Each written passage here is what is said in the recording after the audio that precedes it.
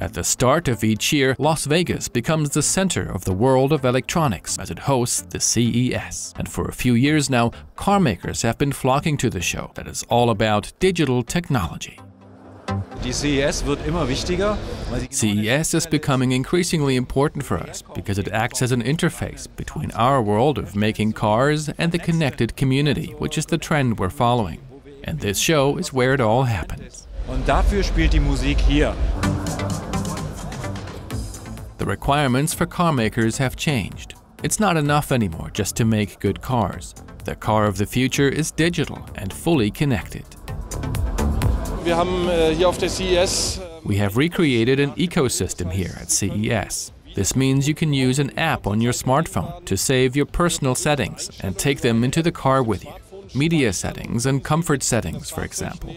You can save it all in the cloud and transfer it to other cars you use, like rental cars or second cars. And our clients will be able to do the same in the near future. Zweitwagen von Ihnen übertragen. The door opens by digital key and the vehicle listens to you.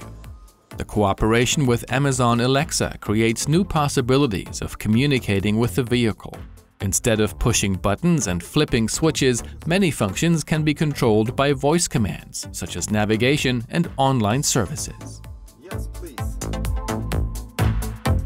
Unsere Our cars are connected. Today, we have 2 million CarNet users, and it's getting ever more important. We need this, and we want this.